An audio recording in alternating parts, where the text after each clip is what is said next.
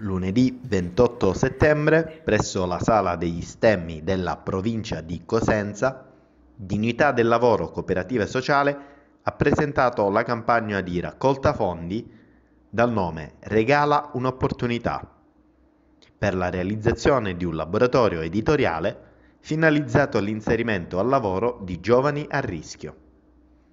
Dignità del Lavoro Cooperativa e Sociale è attiva sul territorio dal 2012 ed i soci hanno una lunga esperienza nell'ambito della promozione di iniziative per l'integrazione di persone con storie difficili alle spalle, come ex detenuti, tossicodipendenti, giovani che hanno compiuto reati, minori a rischio. Il progetto imprenditoriale prevede l'allestimento e la gestione di un bookshop all'interno del Museo dei Bretti e degli Enotri di Cosenza. L'investimento è mirato all'acquisto di attrezzature e macchinari per la stampa, tecnologicamente avanzati, che consentono l'avvio di un'attività imprenditoriale per la produzione di servizi editoriali di vario tipo. I eh, finali di questo intervento, perché eh, il bookshop, che è la cooperativa eh, sociale dignità del lavoro va a realizzare con il progetto di solidarietà eh, sociale che ne comporta eh, verrà realizzato all'interno del Museo dei Bretti e degli Enotri eh, che quindi avrà la possibilità di offrire un servizio nuovo ai visitatori eh, che naturalmente assume questo, in questo contesto un valore eh, fortemente sociale, educativo, rispondendo anche a quella che è la missione principale di un museo che è appunto una missione di eh, natura culturale e educativa. L'idea che abbiamo è, è, creare uno spazio per poter favorire l'inserimento al lavoro di ragazzi che hanno compiuto reati e che quindi sono in carico al sistema della giustizia.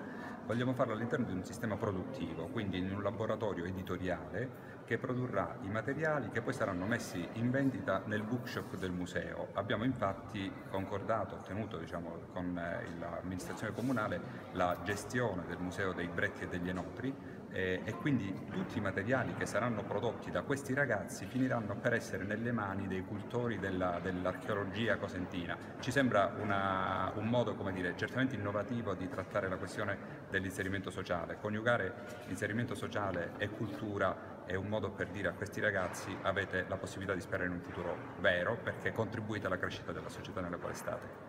Noi adesso faremo nella, nelle prossime settimane l'acquisto di tutte le attrezzature per allestire il laboratorio editoriale. Stiamo già lavorando alla ideazione dei materiali che saranno messi in vendita nel bookshop, quindi eh, guide, opuscoli, eh, un gioco di società e così via. E, da il momento in cui saremo pronti, quindi quando sarà allestito il laboratorio, da quel momento cominceremo attraverso una convenzione con il, il sistema della giustizia minorile ad ospitare i ragazzi per avviare i percorsi di inserimento. Contiamo entro l'anno che tutto questo sia attivo. I ragazzi che sono intorno alla maggiore età, tra i 17 mediamente e i 20 anni, che hanno compiuto reati quando erano minori, eh, reati che a volte sono anche piccoli reati, ma spesso invece sono reati magari più, più importanti, ma che attraverso questo processo, in particolare l'istituto della messa alla prova, che è un istituto diciamo, previsto proprio per i minori che compiono reati, possono riscattarsi, possono fare in modo che la pena sia cancellata e il reato estinto.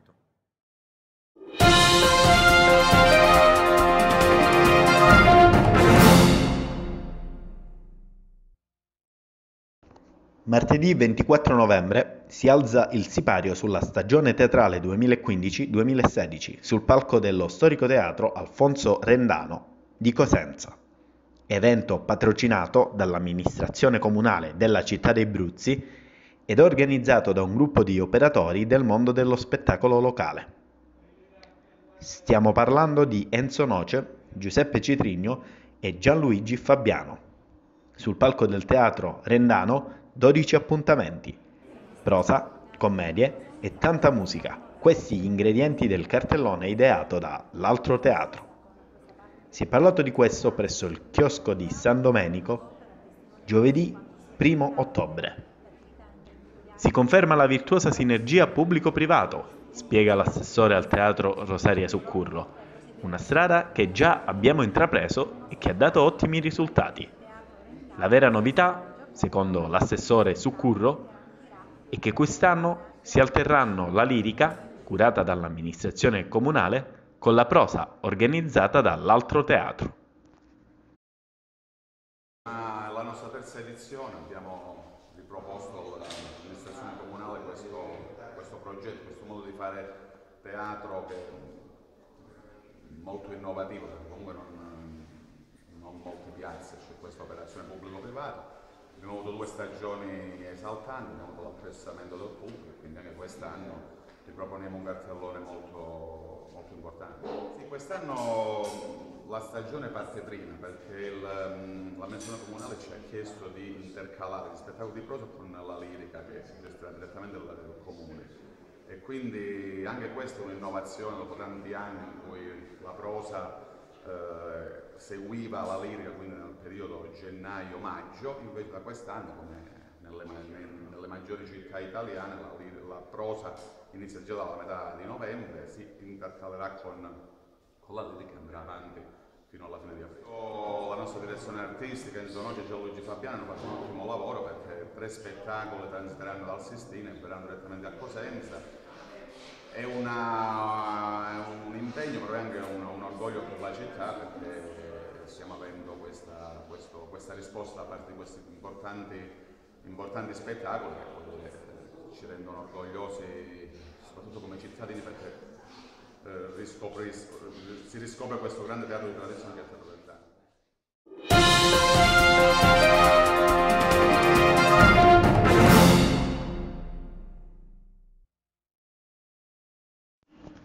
Si chiama Controcorrente, l'ultimo lavoro performativo dell'artista italiano Paolo Angelosanto. La performance, messa in opera nel pomeriggio di giovedì 1 ottobre, ha rappresentato il primo progetto di una serie realizzati durante la permanenza a Cosenza. L'azione, pensata espressamente per la città, è stata ispirata da quello che è il flusso del fiume adiacente ai box destinati agli artisti in residenza. Il progetto, un'indagine eco-performativa, è un'occasione di riflessione dell'artista, che si misura con l'ambiente. L'artista Paolo Angelosanto ha percorso il fiume Crati da Piazza dei Valdesi fino ai box art degli artisti. È stato seguito da molti degli artisti che alloggiano presso i box, insieme ad altre persone, ed applaudito al termine della performance. Box è un progetto che nasce il 4 luglio di quest'anno e sono delle residenze, de delle residenze d'artista in cui appunto a rotazione ogni 14 giorni. Uh, arrivano degli artisti uh, per lavorare qui nello specifico e per lasciare uh, un'opera al fine dei 14 giorni che abbia attinenza con quello che è il paesaggio di Cosenza, suo, la sua storia. Artista Paolo Angelo Santo, eh, artista che nasce a Saint-Denis e successivamente si trasferisce in Italia dove tutt'oggi vive e lavora. Eh, appunto è un artista attivo nel campo della performance come hai appena detto tu e il titolo è controcorrente. L'artista parte sempre da quello che è un titolo e sviluppa poi quella che sarà la sua azione. Nello specifico oggi ha attraversato appunto il fiume adiacente alle residenze d'artista. Uh,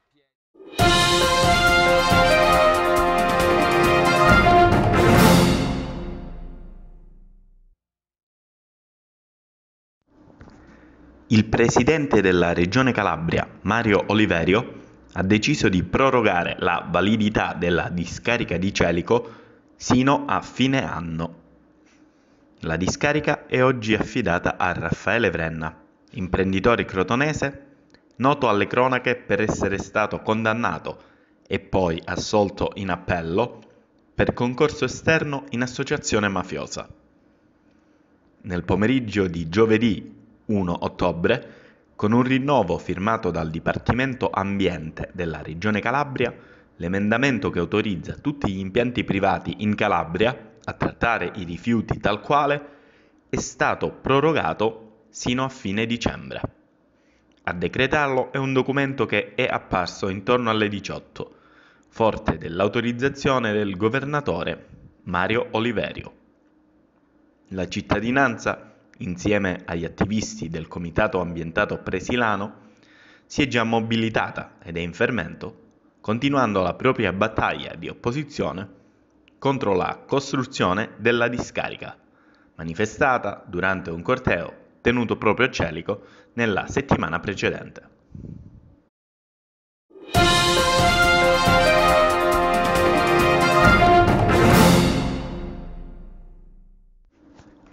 Il 2 ottobre, in molte città di tutto il paese, gli studenti medi sono scesi in piazza per contestare la buona scuola, progetto di riforma scolastico portato avanti dall'attuale governo.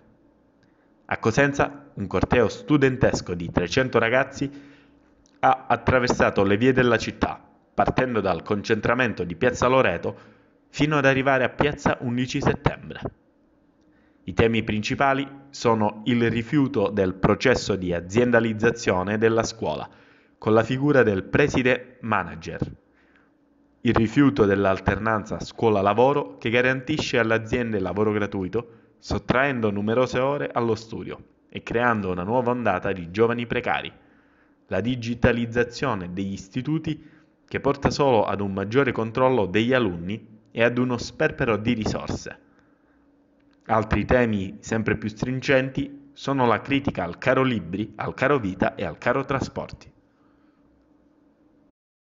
Questo sciopero è stato eh, chiamato appunto per dire no alla buona scuola di Renzi, per dire no al Job Act e per dire no all'austerità che sta affamando se non migliaia, milioni di italiani per riconquistare diciamo, i diritti che i lavoratori negli anni 70 avevano conquistato. Questa è una data nazionale chiamata da Studout e si manifesterà in altre piazze italiane. Nella buona scuola ci saranno scuole di serie A e scuole di serie B. Le scuole di serie B, soprattutto al sud, che non avranno diciamo, questo sponsor che potrà pagare tutte quante le, diciamo, le migliorie della scuola, rimarranno scuole che in questo momento avranno un disagio enorme. Per esempio ci sono scuole che cadono a pezzi, mentre scuole con private, per esempio, a cui vengono dati maggiori, maggiori soldi con appunto questi sponsor più grandi, possono dare un'istruzione maggiore.